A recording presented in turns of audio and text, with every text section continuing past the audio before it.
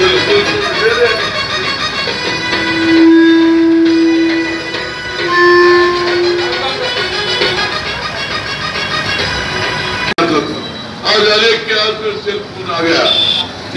गांधी का देश था। ये इंदिरा गांधी का देश था। इस हिंदुस्तान में गरीबों को आगे लाने के वास्ते क्या आपकी हालत क्या थी? आपका कैसे आगे बढ़ना चाहते? चंद लोग अपने फ़ायदे की वास्ते मैं उसके ऊपर नहीं बोलता। मगर आप समझो। आप समझो, आने वाले इलेक्शन में अगर टीआरएस को वोट डालेंगे तो सीधा नरेंद्र मोदी के चोरे में गिरेगा नरेंद्र मोदी आएगा, आज कोई हिंदुस्तान में पिछले साल सरकार चला, कभी कोई खाने के ऊपर रोक लगे, भैया बताइए आज कहीं का दोष नहीं कर तुम बोलो, नहीं बोलते मगर आज आज सोचिए आज आज एक अच्छी बात बताना चाह। रहा हूँ मैं आप लोगों को मालूम है, बारह परसेंट की बात जी का देन है और उसके बाद उनकी जो बेन हमें सोनिया गांधी, वो मैडम को आज मौका मिला था।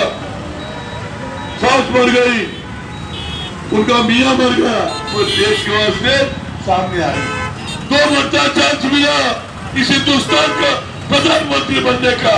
नहीं बनी नो। ये पढ़ा लिखा आदमी डॉक्टर मनमोहन सिंह एक ही तरफ़ देखते रहता, केसीआर को। मगर आज देखो, आज हम चार बोल रहे तो पुलिस वाले कितना ईमानदारी से काम कर रहे थे। अरे भैया, पुलिस वाला आने वाला सरकार हमारा है। फिर हमारे तरफ़ भी तरफ़ तो दो, नहीं तो फिर तुम्हारा भी दुकान बंद होगा इसी शब्दों के साथ जय जय भारत। अभी यहाँ के टाइगर हमारे हाफिज अब्दुल सत्तार साहब बात करेंगे। अस्सलाम वालेकुम रहमत तेलंगाना बचाओ। केसीआर हटाओ। तेलंगाना बचाओ। केसीआर हटाओ। तेलंगाना बचाओ। केसीआर हटाओ। तेलंगाना बचाओ। बहुत बहुत शुक्रिया। आगे दूसरे जगह भी प्रोग्राम है मेरे भाइयों से।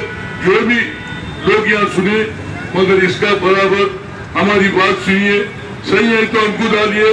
अगर गलत है नरेंद्र मोदी को जाएँगा ये वोट ये आपके साथ ये मुखातिब करूँगा जय